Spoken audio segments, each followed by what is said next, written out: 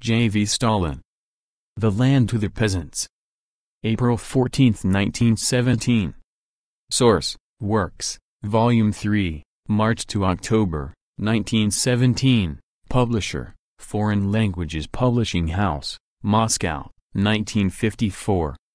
The peasants of the Ryazan gubernia have sent a statement to Minister Shingaryov to the effect that they will plow the land left uncultivated by the landlords even if the landlords do not give their consent.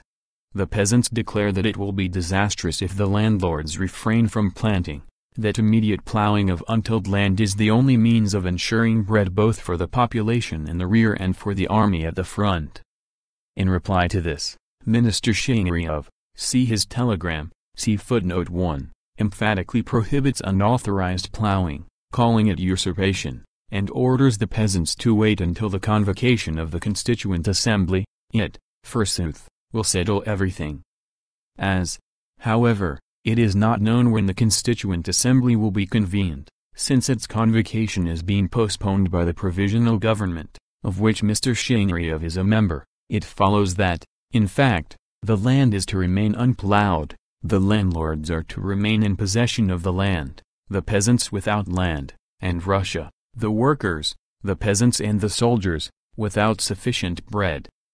And all this in order not to offend the landlords, even though Russia fall into the clutches of famine. Such is the reply of the provisional government, of which Minister Shingaryov is a member. This reply does not surprise us. A government of manufacturers and landlords cannot behave otherwise towards the peasants. What do they care about the peasants so long as all is well with the landlords? We, therefore, call upon the peasants, upon the peasant poor of all Russia, to take their cause into their own hands and push it forward.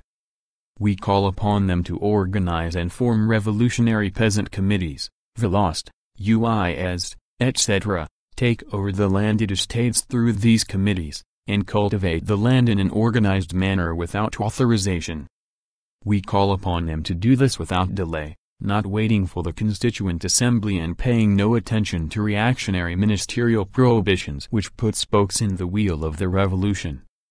We are told that immediate seizure of the landed estates would disrupt the unity of the revolution by splitting off the progressive strata of society from it, but it would be naive to think that it is possible to advance the revolution without quarreling with the manufacturers and landlords. Did not the workers split off the manufacturers and their ilk from the revolution when they introduced the eight-hour day? Who would venture to assert that the revolution has suffered from having alleviated the condition of the workers, from having shortened the working day? Unauthorized cultivation of the landed estates and their seizure by the peasants will undoubtedly split off the landlords and their ilk from the revolution. But who would venture to assert that by rallying the millions of poor peasants around the revolution we shall be weakening the forces of the revolution? People who want to influence the course of the revolution must realize once and for all. 1. That the main forces of our revolution are the workers and the poor peasants who, owing to the war, are now wearing soldiers' uniform. 2. That as the revolution grows deeper and wider, the so-called progressive elements, who are progressive in word but reactionary in deed, will split off from it inevitably. It would be reactionary utopianism to retard this beneficent process of purging the revolution of unnecessary elements. The policy of waiting and procrastinating until the Constituent Assembly is convened, the policy recommended by the Narodniks, Trudoviks, and Mensheviks of temporarily renouncing confiscation, the policy of zigzagging between the classes, so as not to offend anybody, and of shamefully marking time, is not the policy of the revolutionary proletariat. The victorious on march of the Russian Revolution will sweep it away like so much superfluous lumber that is suitable and advantageous only to the enemies of the revolution.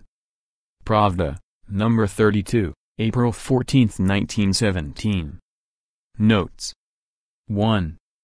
The text of Shingaryov's telegram was reproduced by V. I. Lenin in his article, A Voluntary Agreement Between Landlords and Peasants.